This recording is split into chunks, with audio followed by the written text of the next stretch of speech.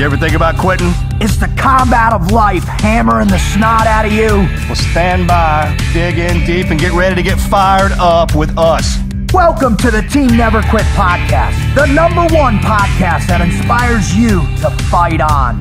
I'm your host, David Rutt Rutherford, here with Mr. Never Quit himself, Marcus Luttrell. Our mission is to help you embrace the suck of life, to teach you the values of working your ass off, and to interview the most hard charging people on planet Earth. We know life is hard. It's time for you to suck it up, Buttercup, and let us teach you to persevere in every environment imaginable by sharing real world lessons learned by those who never quit. That's right. It's time, Marcus, for us to help them defeat the Well, negative you insurgency up, in man. their You lives. fire me up. Are you ready? I'm ready. Let's roll. Let's roll.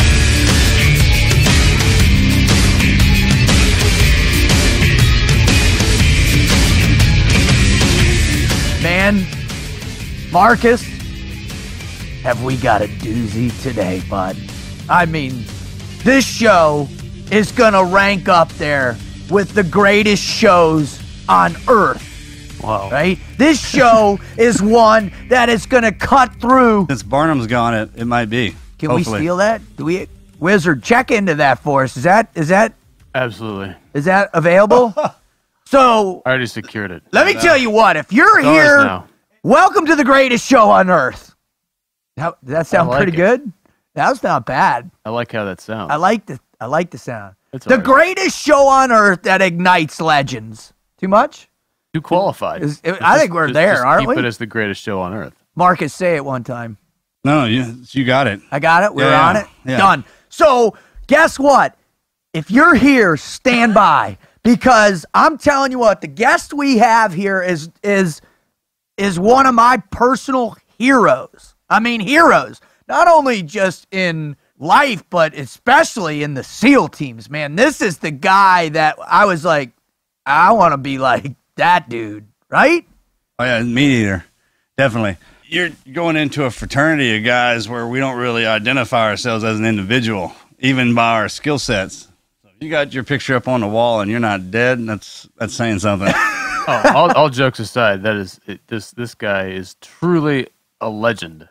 In Legend. community. Yeah, in our- Legend. Legend. Period. If it applies to anyone, it I applies to remember. him. I remember the first time. You know, you you go into the team, you see his his citation, you read it, and I hope Wizard we're gonna read that at the end of the show, right? Absolutely. All right, you see the citation. I read that through, and I'm like, damn, that sounds pretty cool. Then I started and I went and I researched it, and I was like, holy cow, they left out a gazillion parts of it, man. Well, that's has an arrow at the bottom. Says point to the back. Yeah. the back.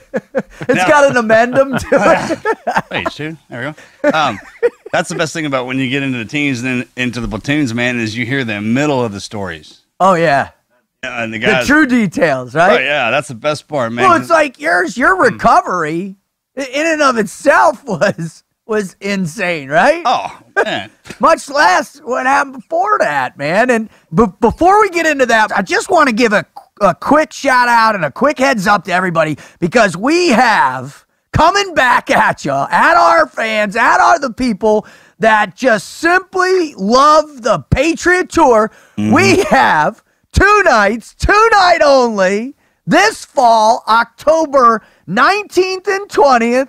Where are those shows going to be, buddy? New York and Philly. Holy cow. I know. And, Holy and I- cow. it- man, it, it's it's with great pride that I I say backed by popular demand. Oh man, chomping at the bit. And the cool thing is, on New York, October nineteenth, it'll be at the Town Hall Theater. On Phil in Philadelphia on the twentieth, Merriam Theater at the Kimmel Center. If you want to buy tickets, please go to patriottour.com for tickets. You can get VIP tickets to, to meet all the speakers. And the speakers are Marcus, Taya Kyle, Chad Fleming, and David Goggins. Now, are you fired up to do this one more time, buddy? Oh yeah, no, absolutely. We've been on a break. We've been on a little bit of a break, man. We we went real hard in the paint last year, and uh, I, I said, as a matter of fact, because the kids back in school, and that's kind of the life I'm. I said, I, if we get New York and Philly, if we if those ever come across our bow, so to speak, I was like, I'll, I'll step back in the breach and I'll call the team up. And they they did. and they got it. yeah, we got it. So, That's ladies, so don't miss these shows. If you're in the area, you're on the East Coast, I don't care where you are. This is a phenomenal opportunity to see the Patriot Troop, perhaps one last time to go see Marcus Luttrell, Taya Kyle, Chad Fleming, David Goggins, New York City, October 19th, and Philadelphia, October 20th. All right. I I think we should just chat a little bit about some of the incredible finer points of this story. I mean, this story is the story of Mike Thornton and Tommy Norris in a platoon doing some high speed secret squirrel stuff in 1972, right? And on October 1st, they were inserted to do this pretty awesome reconnaissance of a, a coastal North Vietnamese uh, base, right? Intel and capture. in, right? intel and capture potentially, right? So they go in and they and Mike apparently handpicked two badass South Vietnamese SEAL commandos, and then they had a lieutenant put with them. And I don't know if Mike or, or Ty picked him, but he the O had to go, right? And so they get inserted, man, you know, off these junks that they were riding, and they go into shore. And remember back then, dude, there were no Garmin Foretrexes. There was no I like going behind the veil. right. Totally, it was all map studies. As you go inside there, boy. The one thing they did have was like some star, one of the starlight scopes, and Oh yeah, but still. it, that's nothing, right? But so when they hit the beach, they knew. Mike knew immediately they had inserted wrong because apparently one of the vectors that they took one of the ships way offshore, out of the two ships that shot two uh, azimuths, one of them was off by a little bit. And so over those miles of getting to the shore, they hit the wrong space. So they get there, they realize wrong space. They're gonna lay up, right? And they found these great sa- sand dunes, right? And all of a sudden, this beach patrol, this VC beach patrol comes walking like dum da dum da dum da dum, all right? And so I guess apparently Mike was like told the South Vietnamese lieutenant, said, hey, you take this guy out, gave him the suppressed uh, like 22 or 38 or something he had. Says, you take him out, I'll take the other. They split up. Mike knocks the, sh- the, the heck out of his dude, zip ties. The other dude misses this guy. And he gets like 200 meters away. And and the South Vietnamese lieutenant stops up and, he, and you know, stop or I'll shoot. You know, I want to detain you. Get over here. And the dude whips around. He's got an AK 47. Yeah. What do you think happened on that one? Changes the conversation. So this dude opens up on the South Vietnamese lieutenant and goes hauling ass into this village up this trail. Well, Mike doesn't even think. He just goes bam, grabs his weapon, starts hauling ass after him, gets up the trail, drops down, presses two, puts him down, and then all of a sudden notices, dude, 50 guys from that village, 50 VC are hauling ass shooting at him. He goes running back. They get in this perimeter. You know, you got uh, Lieutenant Norris, his radio operator in a minute, uh, up in the middle. Put a guy on the backside, rear security, one on a left flank, and then Mike's on a point working these these dunes in the front.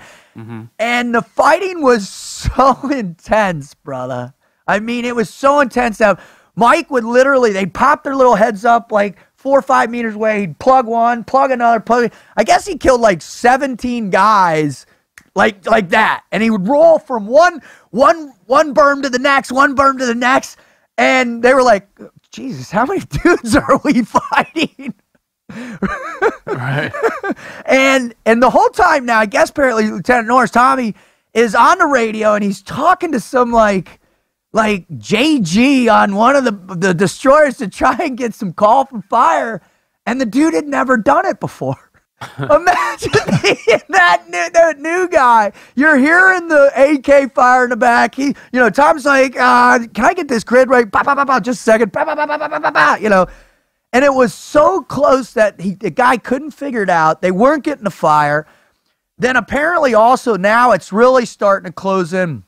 And after Mike rolled around one berm, and he's reloading his weapon, and a Chicom grenade lands right next to him, right? Yeah. Homemade grenade. And listen, I'll tell you what, I, I'm a personal favorite. I, I love grenades, right? They're the greatest, coolest thing ever, especially American grenades. You throw them, one 1,000, two 1,000, three 1,000, four, boom, they go off.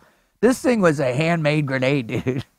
It was so it lands next to Mike. He sees it. He looks down and He throws it back over the berm, dude. And he's counting four 1,000, five. Guess what, Marcus? Comes, Comes right back, lands next to him. He picks it up and throws it back again, right? Now it comes back one more time. Boom! Takes seven pieces of shrapnel up and down his back. Then three dudes come running over the berm on him, right, to kill him. He shoots one one guy upside down. He falls right next to him. Shoots the other two. They fall back behind the berm. That's how the fighting was going, dude. Because they couldn't get any fight. There was some what they had a forward observer that was going to try and help coordinate. Nothing. They weren't getting. it. Tommy wasn't even getting any help from that guy. Hmm. Then he called in these junks to come underneath the gunfire because now he's like, listen, you got to start doing something. We're hurt because they were literally. Mm-hmm. He said the cool thing is he'd be on a horn talking to these clowns, and then all of a sudden they'd be overrun and he'd be in hand to hand. And there's this great video out there. All you got to do is look up Thomas and uh, Thornton and Norris 2001 from the Academy of Achievement. And he's the way Tommy talks about it. He's like, one minute I'm, you know, I'm trying to get called for, and then you know it got a little hairy. Next minute I'm in hand to hand, and I'm like, come on, guys, guy. give us some help. Like, hold on one second. I'll be right back. so it keeps going. Well, now finally they're not getting any help, and so Tommy makes the call. All right, we get out of get a, we got to get out of Dodge. Well, about 400 meters behind him, there's an, a solo berm, and then a mile one way, the 400 meters. Then the the tree line's pretty far off one flank, and so they're like, all right, let's bound back to there, and then we'll bound to the water, I guess, and get out of Dodge, or at least whatever. So I guess Mike and his two guys get up. They do a 400 meter open space Oh, leapfrog, dude. 400. Remember, I'm up. They see me. Oh, I'm yeah. down. I'm up. They see, that was like, I'm up. for about a minute. Yeah. Like, a guy was going through BUD/S. He had an instructor that was a Vietnam guy. He just got in there, and when they were doing it, he, you know, muzzle discipline's real big. You up, they turn around. He said when they got up, turn around uh, to, to go before they see me because he was shooting by, like behind him. He was running one way and shooting that thing, and then they go down. None of that high speed. I was like, "What you talking about, man? You get shot at, get the hell out of Dodge." just laying it down. just laying it, just pointing it behind Right. you and laying He's it like, down. I was giving, I, man, you're supposed to lay down and give suppressive fire. Well, I was giving suppressive fire, but I ain't laying down. That's awesome.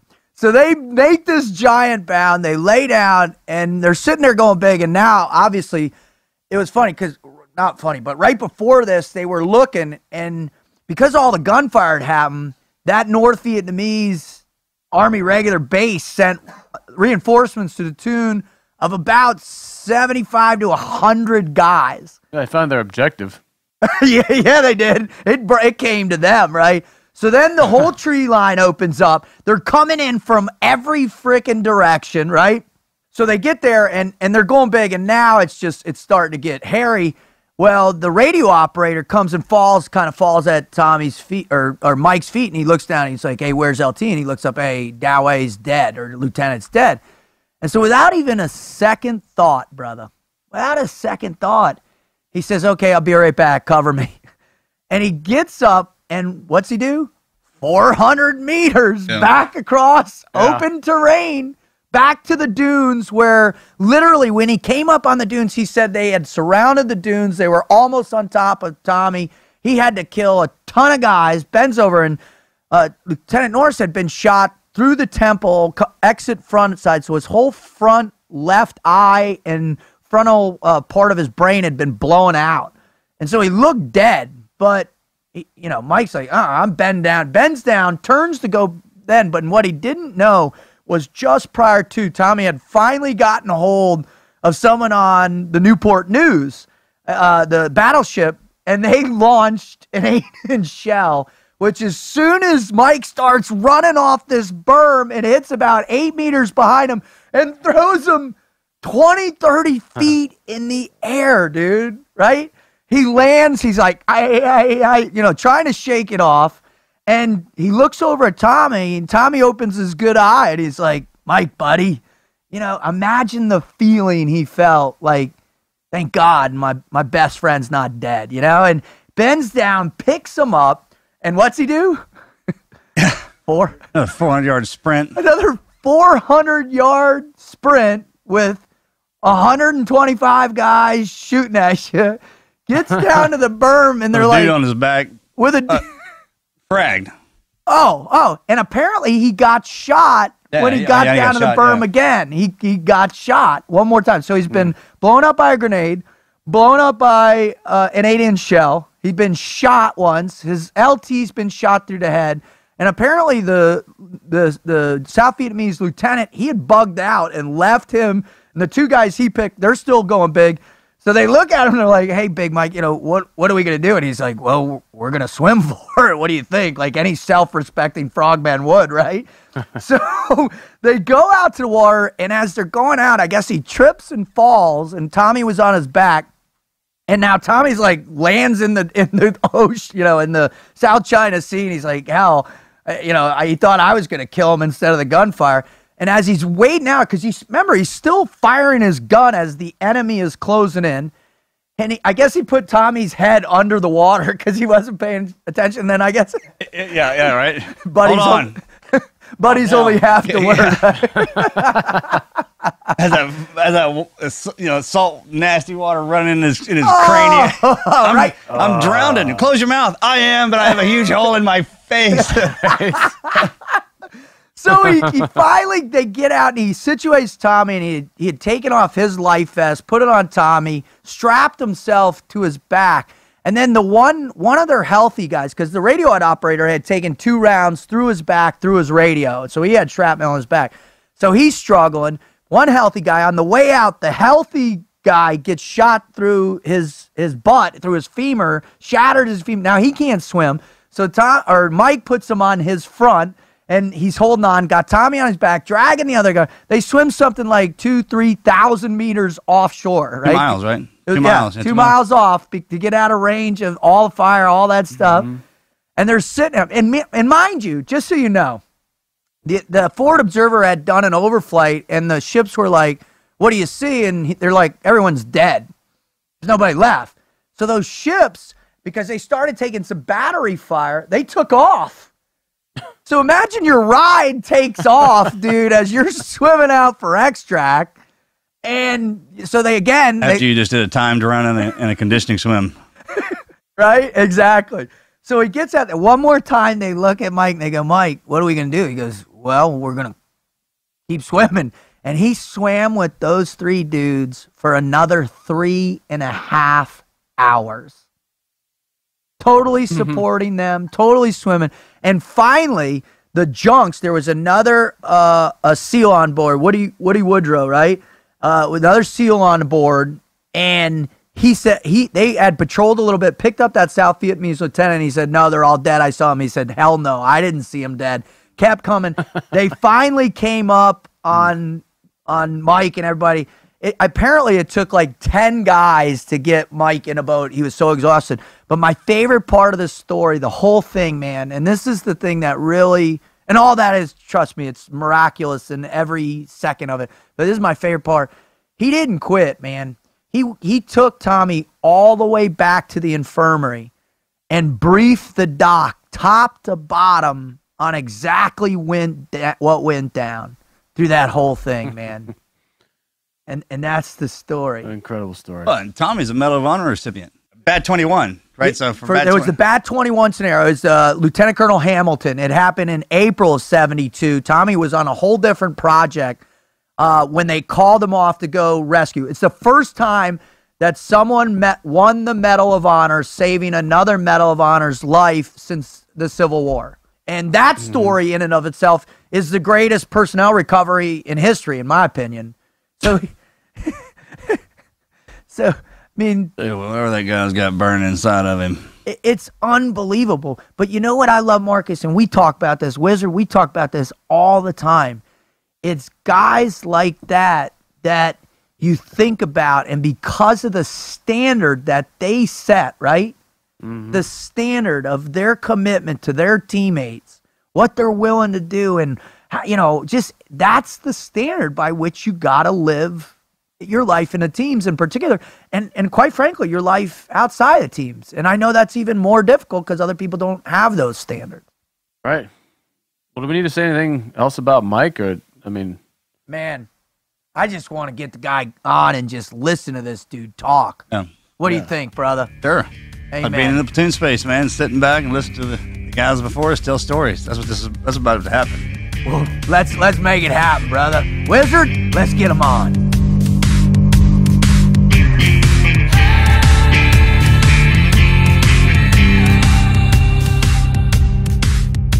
Marcus, Marcus, Marcus, brother, Marcus. I gotta tell you, I have been so fired up for this one. When you first said that you were gonna be able to get him on about a year ago, I've been chomping at the bit, man. Because when you not only bring one of your brothers on, one of the people from that was cut from the same cloth, that is comes from where we come from, hmm. right? But is one of the originators. Design the cloth. The design the cloth, the manufacturers who who his story, his commitment, his level of honor and integrity, man, it is the definition by which I want to wear my trident every day of my life, all day long, brother. Yeah. No, no, He's no. on. You know, you're looking at the the father. The we don't have. There's no alpha that's that is a part of us. But if you stand out, I mean, you got your picture on a SEAL team wall. That's that's saying something. Most of the guys up there are dead. right, right. You know what I'm talking about? And growing up with, I grew up with him since I was so since I was a boy. You know, I met him right when I was going in, and he can wear that when it's time to talk to young warriors. He'll flip that switch and do that, and then he can turn around and talk to civilians as a a mentor, man of the people. yeah. Yeah, you know what I'm talking Yeah. about. And that it's funny to watch civilians see him lo- load into us sometimes like he does because it's. I mean, you know, he's a huge guy. Yeah. So, man, he, he is. He's he's a wonderful treasure we have in the teams, and I'm glad we got a chance to get him on here. So what did I say? Let's just bring him on right now. Ladies and gentlemen, boys and girls, children of all ages, I'd like to introduce Mr. Mike Thornton. Sir, thank you so much for coming on the Team Never Quit podcast.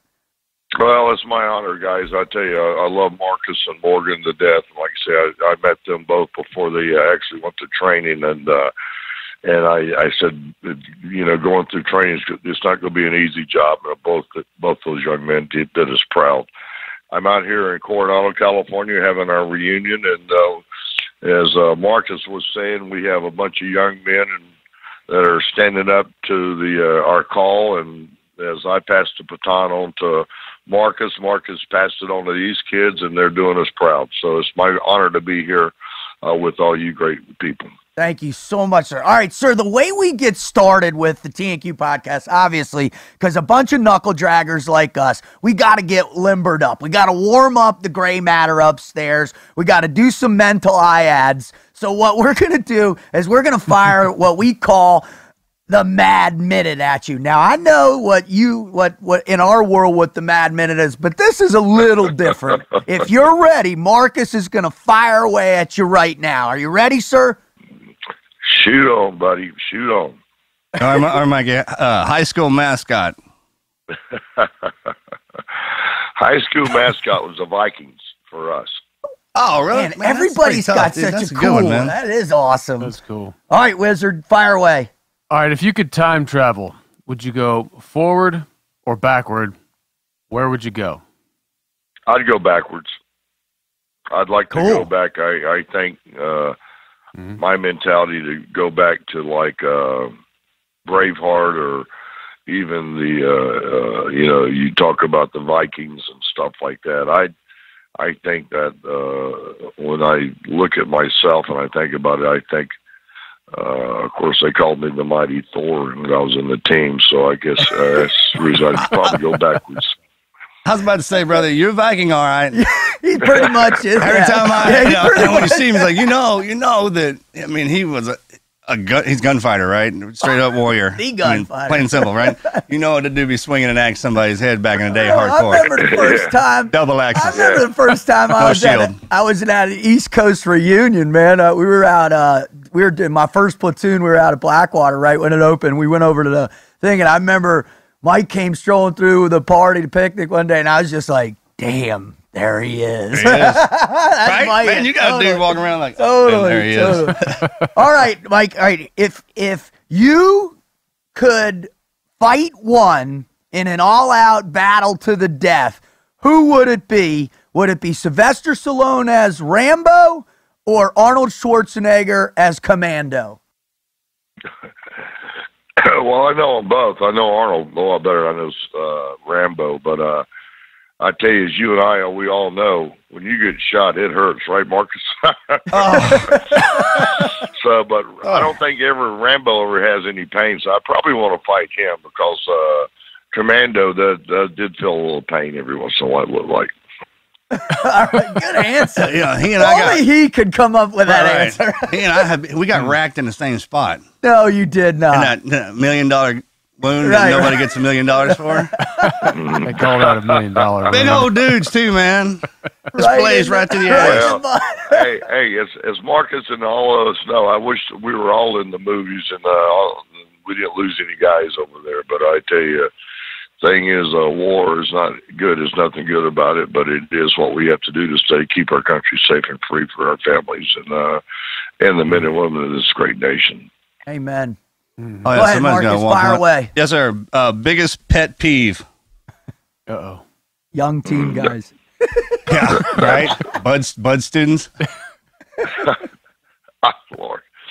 Uh, I was out with a young class not too long ago, and uh, I was sitting in the middle, and somebody said, "What is all those bodies, things around you?" And it wasn't. They said, "Is that seaweed?" And I said, "No, those are, those are, uh, those are uh, bud students eating uh, eating sand."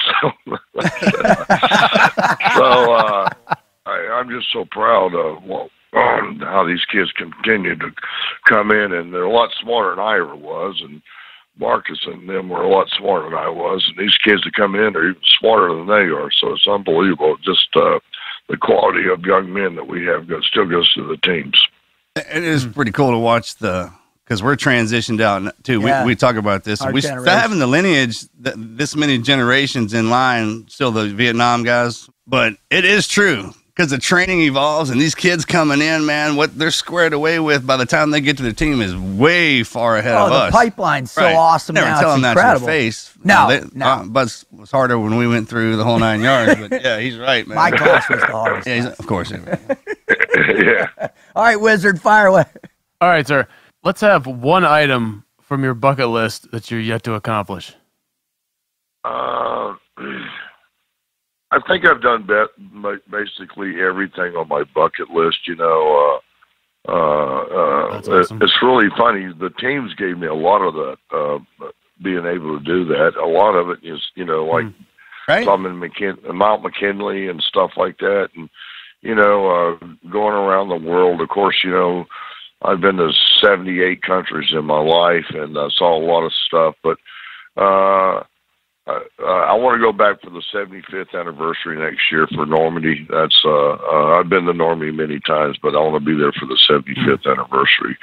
And right now we're doing a thing with me and Tommy and Bob Kerrey. We're gonna have all three of the Medal of Honor recipients from um, uh, Vietnam together to help celebrate like kind of the 50th year Oh wow, of Vietnam. So that's gonna be a lot of fun. that's gonna be I, have you awesome. met? I've never met Senator Kerrey. No, I haven't. I, I haven't. Pay our respects, please, if you when you talk to him. I, I've Absolutely. never seen that guy. Yeah. He's Awesome. he's a great he's a great guy. Uh, he's been a good friend of mine for a long well, well since he received it. Well, I knew Bob before he lost his leg and received his medal, but he's we stay close together. So uh, so we're looking forward to that, and we'll have fifty of the young still families up there with us. So that's a great way to celebrate it. Uh, when That's it, awesome. when is that, sir? That's going to be at Half Moon Bay. Uh, Mark Kendall owns the uh, golf courses up at Half Moon. We have the Ritz Carlton up there.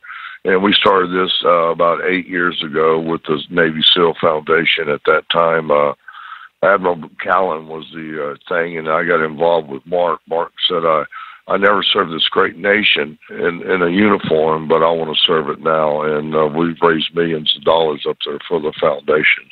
So. Oh, Wow. that place is great. That event Awesome. is, is great. Yeah. We've been invited up there a couple. So man, that's a That's going to be one worth going to Oh, for right. sure. Yeah, absolutely. All right, last question from Marcus. Fire away, bud. fine. All right, Yeah, sir. sure. Favorite superhero? Favorite superhero? Of course, Marcus Luttrell. I mean, who else? I was gonna say. but I, I think I think I think his sad faced brother might be up there too. So I, I Right, Moody, that's Hey, Mojo. hey, hey, they're both they're they're they're both superheroes. Uh, they uh, they I'm so proud of both the guys and uh, what they've done for our nation and uh, continue to do. And how we work with brain trauma guys and stuff like that. And uh, to me, a, a superhero somebody keeps giving back, in which Mark and Morgan both uh, have done continuously. I mean, uh, to me, uh, every day of my life is to give back. I've I've been very uh, uh, lucky. Uh, um, an old redneck hillbilly from the mountains of South Carolina with no high school education, and uh, what I've been able to do and, and continue giving back in my uh, and uh, not just back to the team guys, but back to all our uh, men and women in uniform. Well, sir, that's the perfect segue for us. Hey, to, thanks for that, by the way. Yeah, it means that a was lot. I- amazing. Yeah. thanks. Yeah. Well, sir, this is a perfect segue for us. Our our listeners come to our show for pretty much one reason, and it's a doozy. It's it's to come here to hear incredible guests such as yourself get on and share with our listeners things, stories that help them face adversity, help them overcome these incredible obstacles in their lives. It really, it's just this amazing uh, community that has begun to uh, uh, gather around this show. So, if you could, would you please share with our listeners, the millions of people out there listen, your greatest never quit story or stories? Well, of course, the the medal, but that's not about me. It's to, it's about you know everybody's.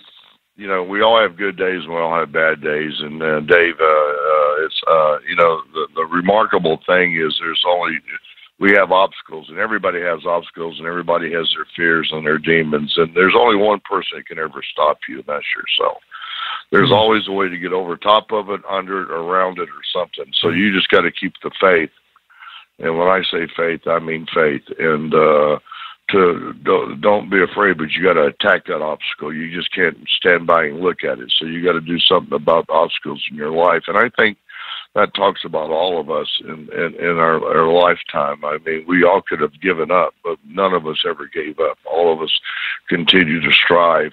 And that's not just in, in, in wartime, that's in everyday operations. I mean, and so uh, I guess my, uh, of course, you know, Tommy and I talk about this all the time, and uh, we had the uh, great honor to spend some time uh, in uh, the woodlands with Marcus and uh, uh, a bunch of times. And Tommy and I kind of left there, and he said, you know, well, the great thing is that we continue to do what we can possibly do. But the thing is, uh, as I tell all these kids, uh, as I was talking to a bunch of those young kids to get ready to start this new class, and uh, there's only one person that makes you quit, and that's yourself. You know, only one person rings the bell. That's yourself. So, so don't ever point uh, a, a thing in some other direction. So I, I, I guess what I'm trying to say is that you know, uh, we had many obstacles in time of war. We have many obstacles today in everybody's life.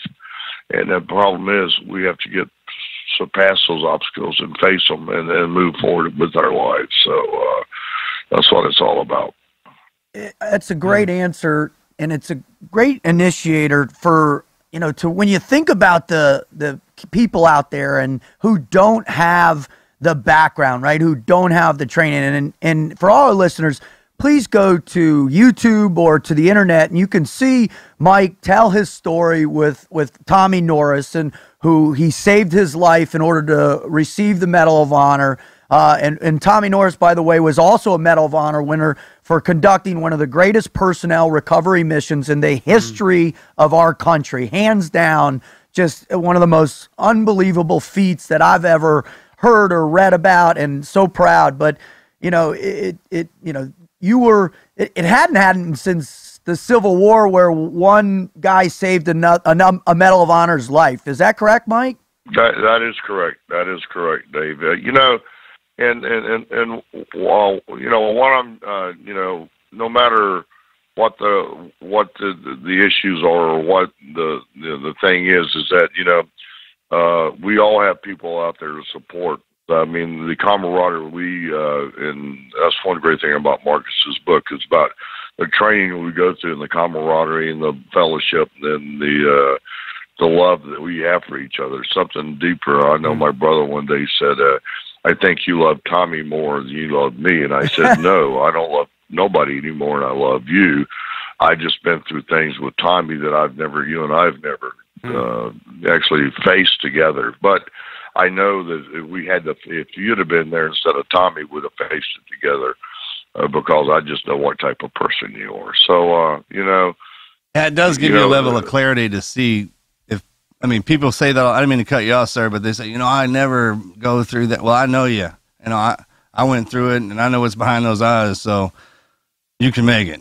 Exactly. yeah, and that's what you have to tell you. You have you have to be able to, and Marcus, you and all you guys back there have, have made it and and and, persevered and moved forward, but past the obstacles that I was talking about. So. uh uh, that's the important thing. That no matter what the the uh, obstacles are, only you can uh, face them and, and get by them. So, uh, you know, you feel down, get somebody to lift you up a little bit out there. I love it. We just recently had uh, Captain Charlie Plumb, uh, uh, Hanoi Hilton survivor, 2,103 days on.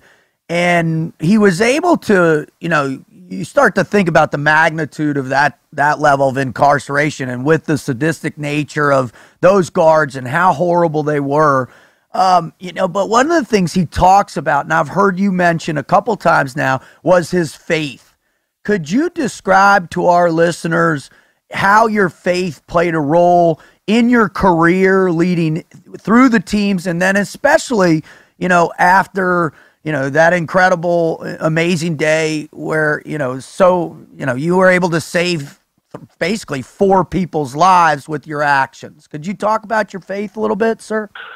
Well, I I think you know I was brought up. My mother, my father, are the two greatest parents in the world. My dad gave me a thing called respect and honor and stuff like that. Mother gave me faith, of uh, uh, church. Now, my mother's faith and my faith are two different things, but there's something out there a lot greater than any of us are, and uh, you know, and and and. uh I believe in uh, there's one great God up there, and I believe that this God protects us and looks over us. Now, while why Marcus and I are still alive, I don't know, but somebody knows for a reason, and uh, I don't I don't uh, question it, and I'm just here. So, and, and as Marcus is just here, so you know, but there's something about you just need to keep that faith and that understanding and uh, that belief that you know that there's something a lot greater than me or anybody else out there, and so you know just be blessed that we have every day to move forward. And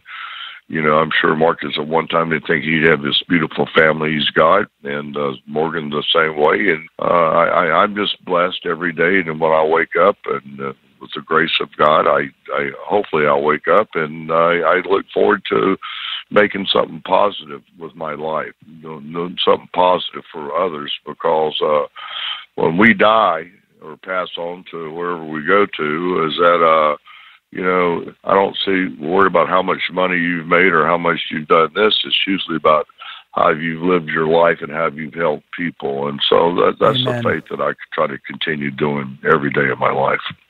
Amen. Ain't no luggage racks on hearse. I, I want I- I want to I want to back up a little bit because you, you had mentioned it, and part one of my favorite parts about your story, sir, is is is the fact that you you did grow up in you know the mountains of South Carolina, you you, you know with, without a degree. Can you talk about that transition of what got you into the teams and why you, picked you know, going into the SEAL route and kind of what what happened in that time, you know? Well, well, Dave, I I I, I knew I wanted to join the military because my father uh, was in the army from '39 to uh, uh, uh, no, from '37 to '47. Wow. And my dad got left in the Philippines. Uh, he was in, he didn't get out. He was in the Philippines from 1939 to 19 late mid 1944 oh my. and uh, he got he was actually a raider. He was uh, and I never knew anything about that. And Daddy said, "Well, Really? after a couple of tours of Vietnam Cool, and wounded a few times. Daddy said, "Well, I guess you can, uh, um, since you've been wounded and you've been over there and you understand a little bit about. I guess we, you and I can talk about it." He said, uh, "What war's all about?" I said, "Daddy, the first time I got shot, I knew exactly what war's all about. There's nothing good about it. It sucks." Leaves a lasting impression for the rest of your life. Mine, Yeah, yeah. you said it, Mark. It's a lasting impression. You never forget about that first time. But uh, uh, my father was my hero, my everything, and uh, my mentor. And uh, like I said, he only had a sixth grade education, but he led by res- uh, respect. And uh, I saw the crazy movie, the, uh, the Five Sullivan Brothers. I don't know if you've ever heard the story. of Oh, that. They all yeah. went down train. Yeah. And I always said that sounds like my family. It sounds like my father. Family comes first, and you give up everything for your family. And then I saw that crazy movie with Richard Widmark, the Navy Frogman, and I was a good swimmer. And uh, I, I was Sir, good just so you know, just so Go you know, I've got that movie poster up in our studio primarily to to honor all the frogmen that came before us right there. I just I just it's so awesome Yeah, that you're telling that. That's actually now. Mike's Yeah, dad yeah. fighting that dude with a knife. But when I went through training, it was called underwater demolition recruit training. There wasn't no BUD/S until the uh, the uh, the seventies, and uh, and uh, and when I graduated, we graduated with uh, twenty two guys, and four of them got rolled back to the other class, and uh, they said. You, you, you, you, and you, and you, and you, and you are going to go to SEAL team. And I said, "What the hell, SEAL team? I didn't, I, hell, I didn't know what SEAL team was." And uh, that was that was back in the '60s, and uh, of course, I you, you said yes, sir, and carried on as we all uh, that. to do, and uh, and uh, there I found myself in SEAL team, and that's how I got there. And I actually I was the only guy. Uh, uh, I had twelve of my uh, classmates at the reunion for the Vietnam reunion, and uh, I was the only one that made a career. Everybody else got after out after about four years. So. uh I love the military. Uh, I don't think, as Marcus and I know, we don't do it for accolades or medals or anything like that. We do it because we care. And uh, uh, the medals mean nothing to me. I mean, I have the, the great honor, but what means to me is the respect of uh, our SEALs and then respect and said, hey, I want to go to a battle with that guy. So uh, that's what's important to Mike Thornton is uh, is that I gain the respect of my peers and the, and the people uh, who I operate with. One of one of the greatest things that I love watching about uh, every recipient, every Medal of Honor recipient. We had Kyle Carpenter on a, a few shows back, and we we asked him about you know the responsibility of wearing that medal and what it means, and and you know, and I've heard you talk about it, and Tommy talk about it that you don't necessarily wear the medal for yourself at all. It's nothing to do, but it's all the guys that didn't make it back. Can you ex- can you expound on that a little bit for our listeners and help them understand the meaning of the medal and and, and what it's given, what opportunities it's given you to have greater influence in your life? Uh, you know, Dave, uh, uh, I I don't think I deserve the medal. Never will think I deserve the medal. I, I did uh, what I felt that was necessary, as Marcus did, as we all do, because our camaraderie and our uh, our, our our our our love for our fellow uh, comrades in arms and. uh I, I as, uh, Tommy thinks I deserve the medal, and the other guys think I deserve it, but I don't think I deserve it. But, you know, you know, people don't know that uh, sometimes it's a little harder to reserve that medal, but that medal belongs to every man and woman that served our great nation before me, served with me as my comrades, and and is serving after me, and is serving for all of us right now today. Uh, but a lot of people don't know we've lost two million eight hundred fifty-three thousand who've given the utmost. They gave their Amen. lives, and their their their uh, their families will never have the honor to hold them in their arms. And this goes back to that faith. I mean, why I'm still alive, or or other people that I know are still alive. I don't know. I don't question it. I just take that thing as we were talking about a while ago and being able to hug my children and my grandchildren and my great grandchildren, you know, and uh, so uh, so the medal I wear so probably belongs to me in eight hundred fifty-three thousand. That's that's given the utmost. They've given us to enjoy this great freedom called America, this great nation. And as as as uh, Marcus was talking about the cloth, you know, that's the reason I respect that flag so much and respect this country so much because as we continue moving forward in life, it, it doesn't ever get any easier and and and uh, but you know just do whatever you possibly can do and uh uh so continue to understand that freedom is not free freedom is written in blood and blood is red and that's the reason why we need to respect this great nation of ours for all the people who have given the utmost they've given everything that they could possibly give. So we, you, I, me, Marcus, our kids, and our grandkids, and our great grandkids can enjoy their lives of freedom. Amen. Absolutely. Amen. What one of one of the things that I, I always get when I'm out there and and people and I meet people and I'm talking to people is they all want to know about our training. They all want to understand the magnitude. What happens to the individual? What happens to that kid from South Carolina or from from Texas or from Oklahoma when they come together and they're out in that freezing surf? You know, what happens in that process? Could you explain, you know, because back when you went through it was totally secretive. There, it wasn't out in the open. There wasn't 50,000 books about it or anything like that. Can you explain, you know, some of the, the core things that really changed in you or were brought out of you when you went through training back in the 60s?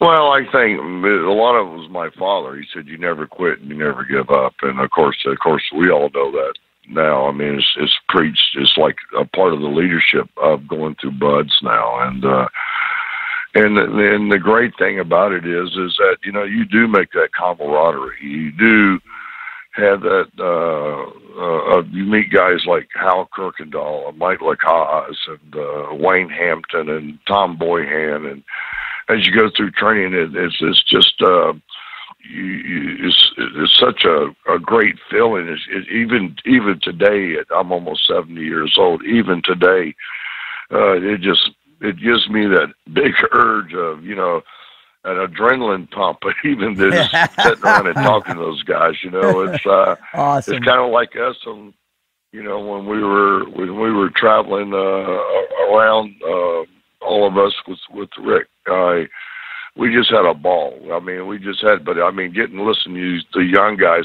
which I considered young back then, but and now they're getting old like me. So, uh, but uh, but it, they it still gives me that that, that surge of adrenaline. It, uh, it it just is unbelievable. I don't know. And that's what you got when you went through training, you know. And it's like I said, you know, the, we all had obstacles. Everybody faces those obstacles in a different way. And I always knew that, you know, my father said never quit, never give up. And that's I, that was one thing that set in my mind. And my dad always said, "If it's to be, it's up to me. If it's to be, it's up to me."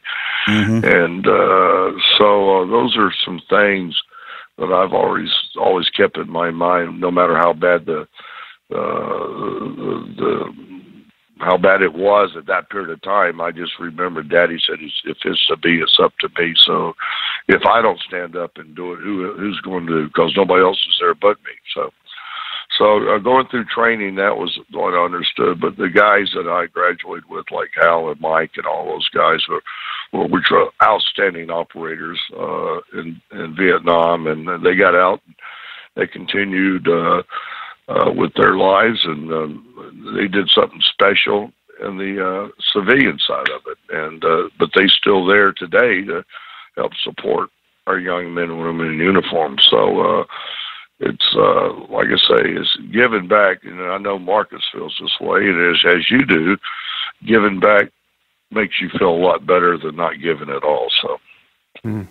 Uh, the the best part about our our family, our fraternity, right, is is that everyone's is still around. Or we yeah. have the reunions that bring us together. The new guys have to go out there, and I tell you what, man, when you walk into a room or somewhere or whatever it is, it could be a class or first thing in the morning, all us young guys walk in. You see Mikey in there or one of those guys, man. It's not about what we're fixing to learn throughout the day. I can't wait till the end of the day when that beer lamp is lit and we, I mean, we huddle around like kindergartners during the teacher reading the story. You're just kind of like, has he has he started talking yet? Has he opened his mouth yet? You got guys on phone. Hey, has he started talking yet? I'm on my way.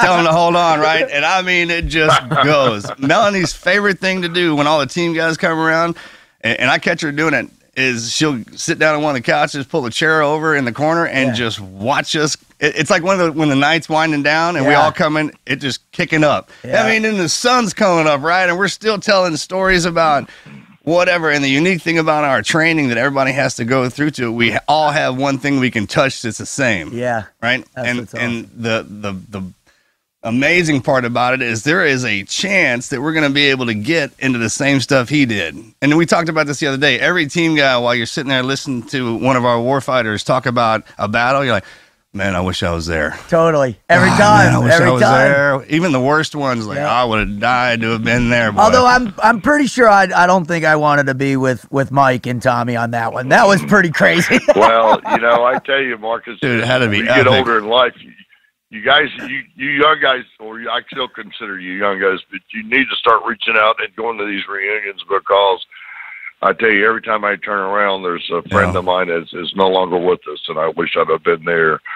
You know, it's the reason I tell our my kids to hug their mom and dad every time they get a chance because one day they're not going to be there. And uh, you know, uh, it's uh, I'm I'm not going to miss too many reunions anymore. I know that for a fact. So uh, That's a great awesome. point, you know, man. it's just a com- it's just a camaraderie like you and I get together with Tommy and that time with Aaron Tippin there at uh, what's the name of that? yeah, that's right. Yeah, and yeah, and stuff like that, you know. And I, I, I yelled out and said, "Go, Aaron!" He said, "Is that you, Big Mike?" You know, hell, Aaron and I were doing stuff in the '90s together, and he still remembered who I was. So, uh, you know, and uh, but you know, it's it's, it's and, and the thing is, you know, the camaraderie is still there, no matter what your age is. The, the you know. And you call stories, I call them lies. But I tell you, there's a bunch of them flying around this weekend. I tell you that. oh man, No, that's actually the great the, the reunions, man. When you because when we get out and we we're trying to find ground un, underneath our own feet by ourselves, and then oh, obviously we've been fighting a war for the last fifteen years, so guys are always spread out. But the reunions are the great place, especially if there's a war on and, and you've been deployed Yeah. to. You need to show up there so the the other guys, the other war fighters, can talk to you about it, and then they can hear. And, and there's always that re- relation because it's family yep. you're not embarrassed or scared to talk about anything that you went through in front of these guys because you know they've done it. I, I'll tell you what, one of the proudest days of my whole life, I was at the muster at the museum a few years back, and and in the morning, uh, a scout and sw- a swimmer scout from World War II had come up to give some memorabilia, and the guy, you know, was in his 90s and he couldn't even get out of his car. And I remember it was Chief Watson, Watson, Patches, Patches. Watson, and he goes running like someone comes up and tells him you know, hey, this guy's out here. He like snaps to, goes running out there. I follow him out, and he, you know, talking to this guy, he gives him a bedroll from when he was out in the Pacific and stuff, and they he shows him this remarkable respect that, and then all of a sudden I'm witnessing this. And then Patches comes over, and we go back, and he's talking to this like uh, Dick Marcinko was there, and some other Vietnams, and I'm listening to them and show see their respect for each other, and then some of my buddies who had been over to Iraq, Afghanistan, and it was the most proud moment I'd ever had to watch how we we can spread that love and respect across generations, and it's almost like it removes time, right? Oh, I, Well, absolutely. it's like Marcus said, we're all from the same cloth. It's just, um, you know, but uh, we have a guy that comes up to Half Moon Bay. He's 94 years old. He was in, and he was in the old UDT team, and uh, the respect that guy gets from my generation, uh, Marcus' generation, your generation, and all the young guys out there to be able to walk up and talk to him. And I said, "Hey guys, go up and shake the guy's hand and thank him for what he's done for us." And he said, "Well, I don't want to bother." him. I said, "You're not bothering. This is your this gives him something to continue that faith and to, to live on for. You know, so go thank him. Go up and shake his hand. You know, Sure, it's disrespectful not to. I mean, I, it's kind of like walking up to the Godfather, you, uh, Mikey or Gallagher, Gallagher, or any of them guys sitting around. And I, Morgan and I's first reunion. I remember we didn't have any money, and uh, we made we we wrote this sign ups to get your picture taken with twin Navy SEALs, uh, three dollars. I think that's how much the beers were. I didn't work out, but anyways, I was walking over to uh, to get a uh, a beer, and and I ran into a hell guy. no, the hell no, it didn't work out because my wife said she was scared to death to go up and talk to Marcus and Morgan, and so she she looks at Morgan and she says, "Do you ever smile?" And he says, "Hell no." so she said, "So Yeah, not while we're- not while you're team guy. scared Rainey to death." Yeah, uh, he's man, yeah, he's a bit temperamental. But I, I ran into this guy. Uh, I didn't see him. I kind of he ran into my chest, and I looked down. He had UDT one, BUD/S Class one, or Oh, on his shirt, right. and an old UDT hat on. Right. And he was missing an arm and, and a leg, had a cane, and he looked up at me and over at my name tag, and I almost wanted to cover it up. and he was like, "Hey, meat." Go get me a beer because I'd spilled his. He had it in that one good Yeah. hand. I was like, "Yes, sir. Roger that. I'm on my way." Because you're There you always a new guy to somebody. Totally. Sound And like it lot- might have been old Danny Deaver. Uh, uh, of course, Al Huey and Captain Shively, uh, Commodore Shively. Of course, you've heard his name, and uh, Al Huey, Yeah. and uh, and uh, they they named the camp after Al out at Al, right. Butts. I mean, out in Island. And uh, they were great. They were in class two of UDT during uh, Korea, and uh, I had the great honor to work with both those guys, and as, as like you said, Marcus, it's something that you look up to and you respect. I mean, they're they're heroes in their own boots. You know, they're just continue. Well, you know, sir, you, you mentioned that, and uh, when you were talking about going up and out of to show respect, the the fellow who was in his nineties, um, to go up and say hi to him as a representative, I guess the younger generation around here. Newbie. You you sir were that you sir were, were that were that guy. I mean, you Tommy. Um, I remember in the hallway there was, you know, it had your photo, the uh, citation from the medal. You guys were what we sought to emulate. Awesome. You know. Well, uh, I, I I I have a grandson. Yeah, I have a grandson, and he he lives up in uh, L.A. He's uh he's a, a financial guy, and he came down to uh, my foundation helped support a bunch of SEAL from SEAL Team Five, and we took them up to the Riviera, the golf course up there, and we had wine on them and dined them, and just let them get there, just get back in town, and just letting them have a chance to, you know, get back within their wives and have a little bit of time off, and uh, and so um, my uh, grandson met a lot of people up there. The guy, one of the younger guys, about his age, I think he's 24. He said, "Why don't you come on down? I'll show you around Coronado." So he goes down there. He calls me and says, "Mike," I said, "What?" He says, "You really are special." I said, "What do you mean?" I went to all these teams, and it, they all- they all got your picture in there. That's True. awesome. And that's the True. best part about our our fraternity, our family, man, is that there's the pictures on the walls of the guys who came before us and what they got into. So as you're coming in every day, man, it's a constant reminder of what line you're supposed to walk. And I think when we like when we came in, there wasn't any war zone. There was kind of a gap. Well, and, and all that means is, man, that we're just spinning, right? Just getting harder and harder in training. That appetite gets bigger and bigger. So when it finally does kick off and we go on, you guys know what happens, man. We just take it too far, right? Just to kind of get our battle rhythm. I But hear you. yeah, a tendency to take it a little far, but Keep that's pushing that because how far you guys took it, man. We it it would be an embarrassment for us. I, I always thought to to not carry that line like you did because of how everybody sacrificed so much. And that here's the deal with the Medal of Honor for y'all who aren't familiar with that. When you can understand all of them up to that, from expert pistol, expert rifle, all the way up to the the Navy Cross. You walk around with that thing pretty much and and a lot of people won't even know what you're wearing. Most of the time, they just see your kind of your, your rainbow on your chest, man. But throughout our time, when that medal, the Medal of Honor has been around, when somebody walks in, they can be butt naked. Like Sergeant Major Pumley, man. You know, he's during uniform inspection. Uniform inspection, you walk in butt That's naked so with that true. ribbon around his neck. What's up? How's this uniform? You know what I'm talking about? well, Every time you walk want into a anybody room see me- I across don't the want anybody military. see me butt naked anymore. I promise you that. I, five years ago, I swam from Alcatraz to uh, the uh, to the yacht club there in uh, San Francisco, and I gave the we raised like a million, one million two hundred fifty thousand, and I gave the check away to uh, one of the organizations. And uh, the guy said, "Hey, can we take you a picture of the, in those speedos?" I said. 15 years ago, I might say yes, but right now, hell no. I just got out of that cold ass water. and I shriveled. Right? Yeah. There's nothing left. Oh, my God. That, that's a hardcore swim. I remember, I think it was in early 2000s, we were going to get a chance to do, uh, we were going to attack it from the, just like the movie The Rock. we were yeah. actually going to do that. Yeah. We were going to go in and, and take that down, and man, and it got canked at the last minute. But that's, man, the currents and it's a the hell of a swim. cold- yeah, and, and, you know, sharks and whatever, everything floating around in there, man. It's That's a gnarly swim. Yeah, but Good job. You, you got to learn. You got to understand the currents and how they do, because you got to use the currents. And when it when it goes back going out, you better be close to a shoreline, and you you can curve yourself right in there. But uh, Right. Yeah. Now, you're, you were, you're a great swimmer, right?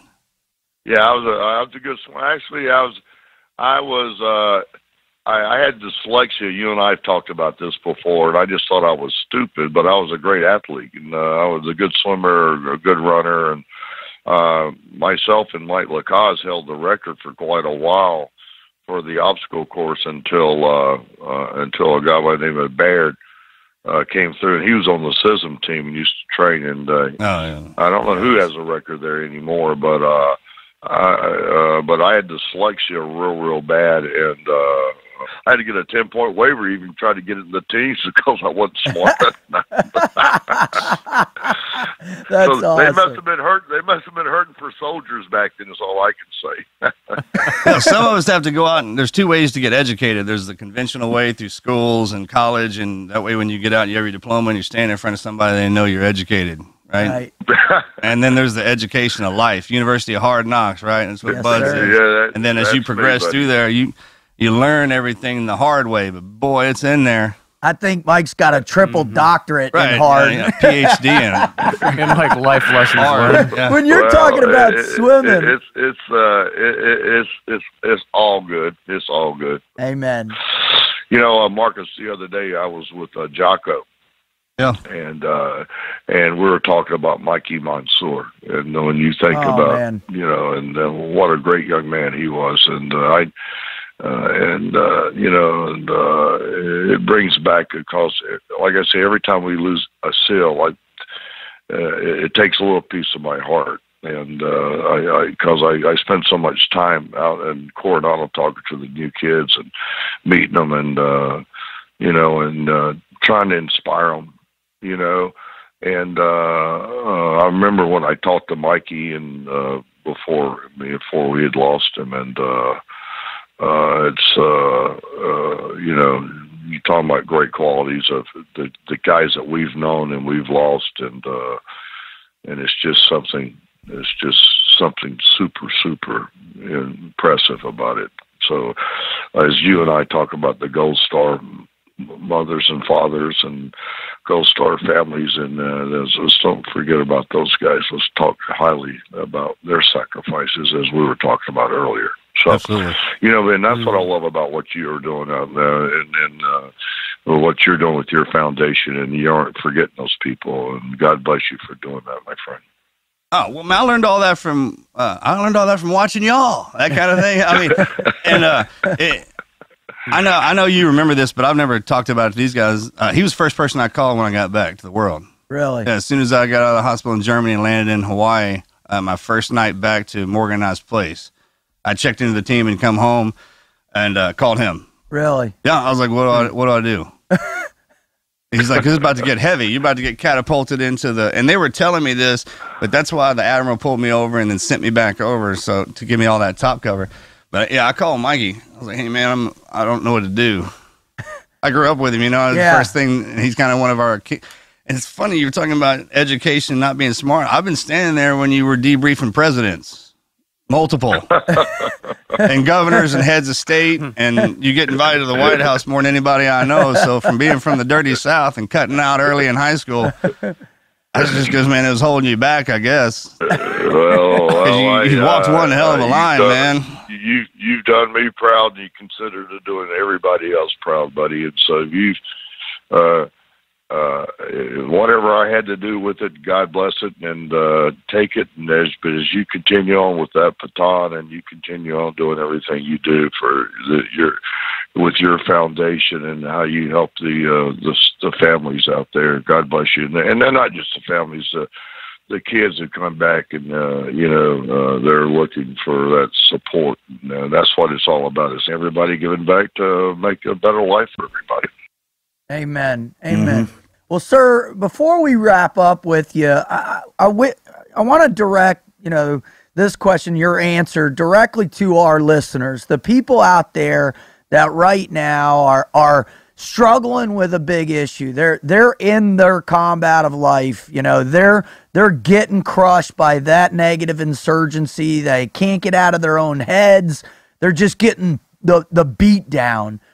What are some things that you could recommend that they could do right off the bat to to give them that break, give them that lull to kickstart that fire and start preparing themselves, start growing and getting better in order to be able to have that resilience and stay in the fight and to surround themselves with a better team. What what would you recommend to them? Well, you know, uh, we never had a suicide all the times I was in the teams, and then we have them now. But I, I tell a guy, a team guy, if it's a team guy or any guy, if you see a red flag, identify the red flag and try to get him help. We need to get out there and help these people, and they're struggling. And if you're a good teammate, and that's and and when I say teammate, I don't care if you're in SEAL team or in the Marine Corps or Air Force or anything like that, because we, as as we all know, that it's happening everywhere. And uh, a, a true friend is there for the hard times and the good times. A good, a true friend is there to have your back, no matter what the uh, odds are, or no matter what the circumstances are. A true friend is somebody that's going to stand up and help you. I mean, so if you got a problem and or, or you somebody out there listening to this right now, if you see somebody that's got a problem and you know there's, there's a, a major issue, be a friend, help him, you know, or help her, or you know, stand up and and and, and let it be known, and you know, and and that's the way. I mean, you're saving somebody's life that way. Amen. Well, sir, hmm. I just can't thank you enough. Um, it's such an honor to have you on with us. Uh, it's just been, I've been looking forward to this, and, and you are everything that I, I've ever heard, and and a whole lot more. And I know you hate hearing that, but thank you for being the incredible inspiration and and for establishing what the standard is for the SEAL teams and and in particular for me. And I just am so so proud and privileged that you could be on with us. Thank you so much. Well, Dave, it's my honor. Marcus, I love you, brother, and uh, Love you, that brother. ugly brother yours uh, the thing, and and and and remember to keep that uh, Superman shirt on there, Marcus. Yes, sir. All right, buddy. Bye bye. Been an honor. Bye bye.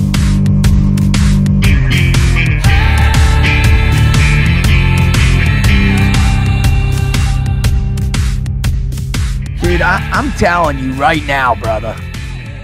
That that could have been wha- I- what an what an honor, and how humble can a guy like that, who's one of the, I mean, not only the fact that he's got that that medal, but you know he's got multiple combat tours of Vietnam. Back when they do a year at a time over there, right? oh yeah, Vietnam man disappear into the jungle. Like they did, they just were like, "Hey, you guys go out to the Delta, and you know when you're done, come back and we'll process you." See if you can get comms while you're out there. Yeah, yeah. Just asking. Roger that. We'll check see if we can get some kind of ditch the radio right in there, right? Triple canopy shooting a comm shot through there. Right. Happening. And he was in MACV-SOG too, wasn't he? 25 years, enlisted officer, Vietnam, comes plugging out of there from the dirty South, barely got a high school education, man, and just tears a hole in it. He's a big dude, He's too, huge. man. Just a He's huge. war fighter.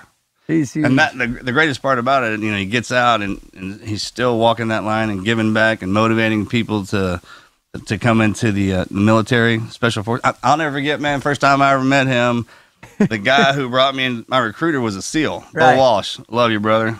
Man, he's like a buck seventy five and just hard as nails. Right. I remember when I walked in and saw him, I was like, wait. You're the SEAL? You know, that kind of deal. He didn't know, right? he will work me like a borrowed mule, man. Just run, swim, just uh, Crushing you. man.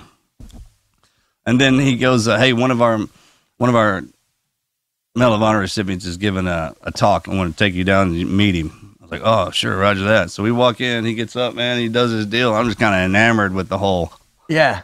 jaw drop. Starry-eyed, yeah. And then we walk up, and you know, I, uh, him and Bo just kind of went, just started talking shop. He had his trident on and all that. Right. And then I was just standing there. He didn't even really pay attention to me. And then he goes, "Hey, this is one of my recruits. He's coming in. He's going to BUD/S, and you know, you got anything to say to him?" He's like, "If I was an instructor, you'd quit." That's what he told me. That's it. Yeah, Yeah, you'll quit. yeah, you'll quit. If I was an instructor, you'd quit. How'd that make you feel? Oh, I was like, "Yes, sir." Yeah. Ah, that's what I Yeah, said. yeah. Yes, sir. Yes, sir. Probably right. You're probably right. I don't sir. want, what are you going to say? That's no, the- I dare you. Yeah. That's Mike that's the perfect Thornton. attitude. hey, you got this guy coming up. I don't even want him to Oh, ring in. You know what I mean? in the unlikely event that you even uh, survive the first day. I love making those calls back to the te- back to BUD/S too.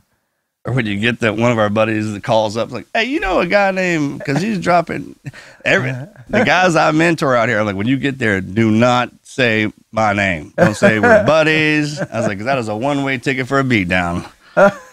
Dude, I always I've, I've, I've put a couple two guys through over the last few years, and and uh, I always call out there and see who's out there, and I Oh, say, sure. hey, this is the one, this is his name, this is what it just you got to hammer the snot out of him. Yeah.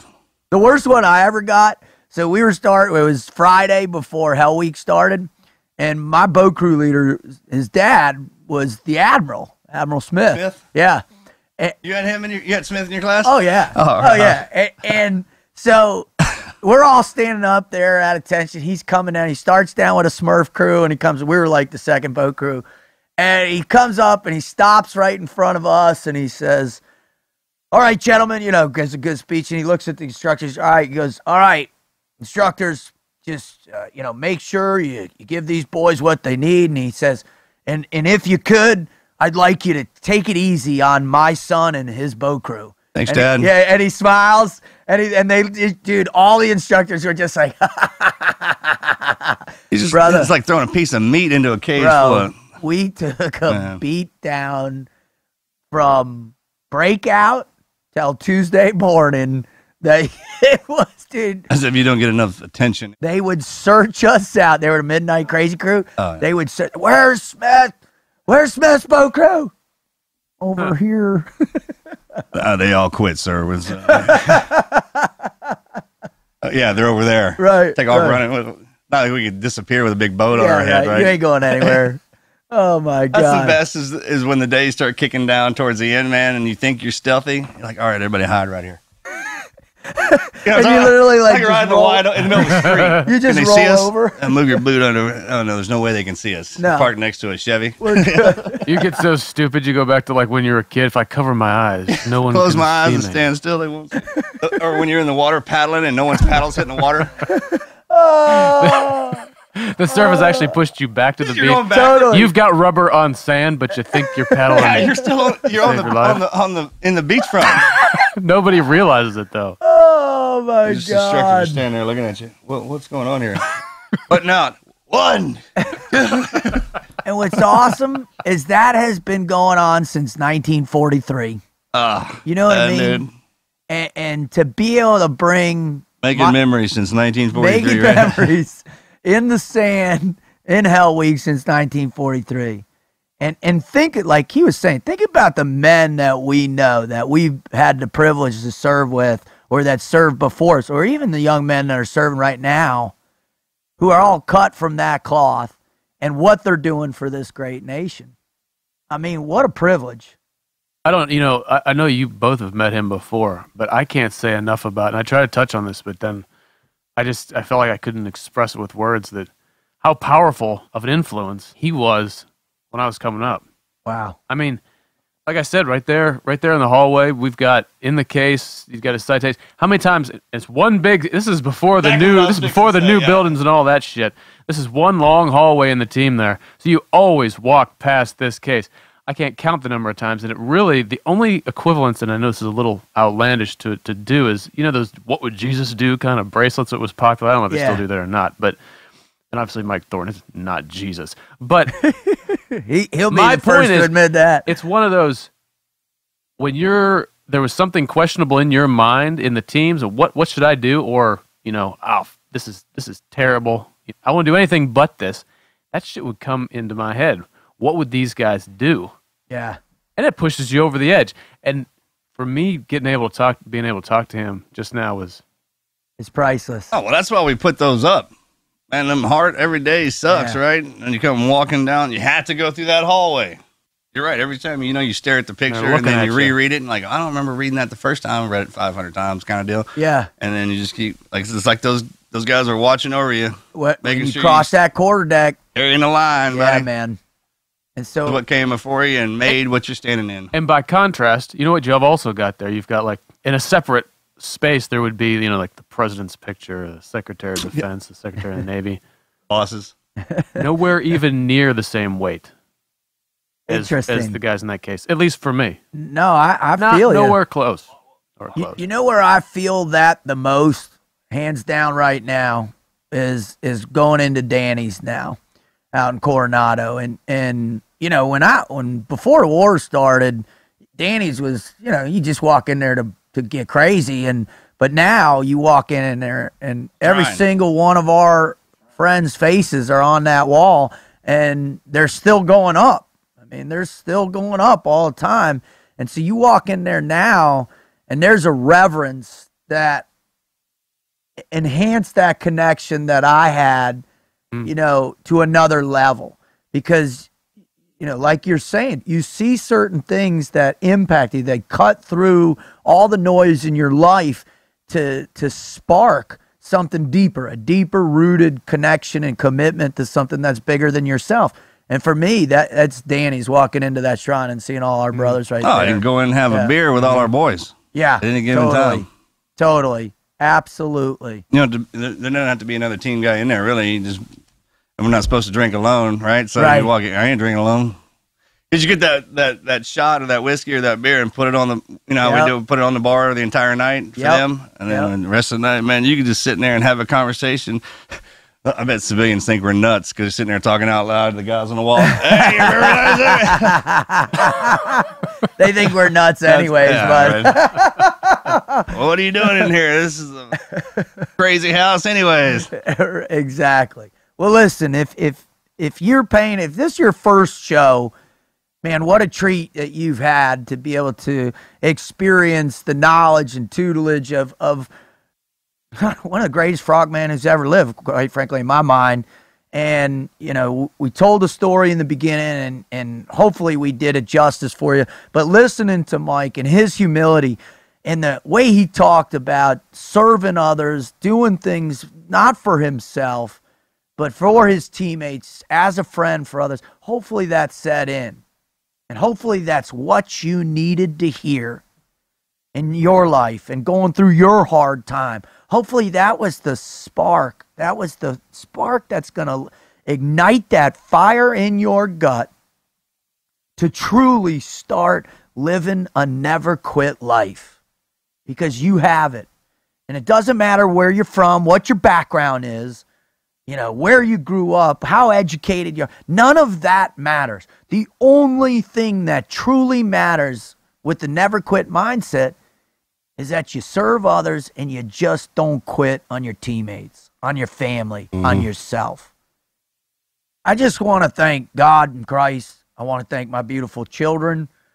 I want to thank my family and friends, but most of all, I, I want to thank Mike Thornton.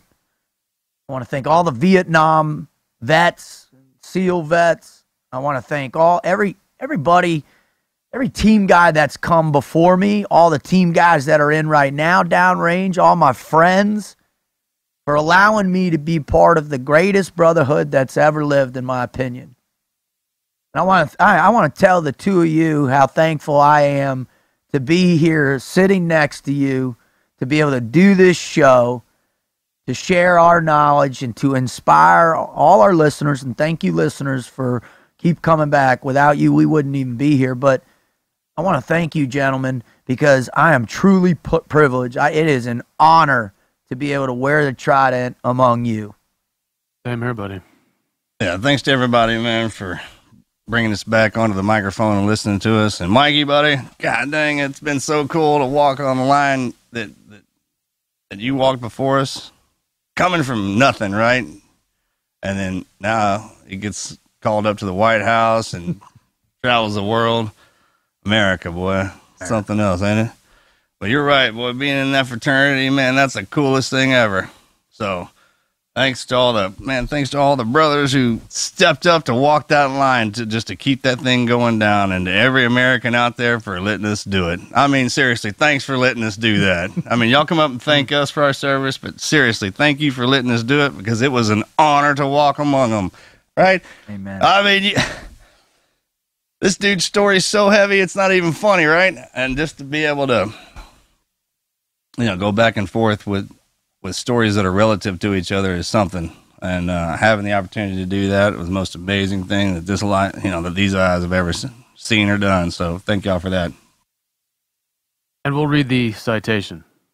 For conspicuous gallantry and intrepidity at the risk of his life above and beyond the call of duty while participating in a daring operation against enemy forces, Petty Officer Thornton, as Assistant U.S. Navy Advisor, along with a U.S. Navy Lieutenant serving as Senior Advisor, accompanied a three man Vietnamese Navy SEAL patrol on an intelligence gathering and prisoner capture operation against an enemy occupied naval river base. Launched from a Vietnamese Navy junk in a rubber boat, the patrol reached land and continued on foot toward its objective when it suddenly came under heavy fire from a numerically superior force. The patrol called in naval gunfire support and then engaged the enemy in a fierce firefight, accounting for many enemy casualties before moving back to the waterline to prevent encirclement.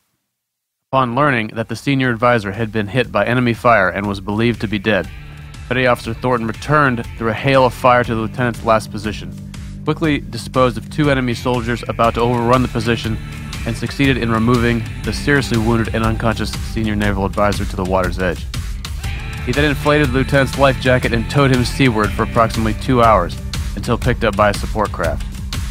By his extraordinary courage and perseverance, Petty Officer Thornton was directly responsible for saving the life of his superior officer and enabling the safe extraction of all patrol members, thereby upholding the highest traditions of U.S. naval service.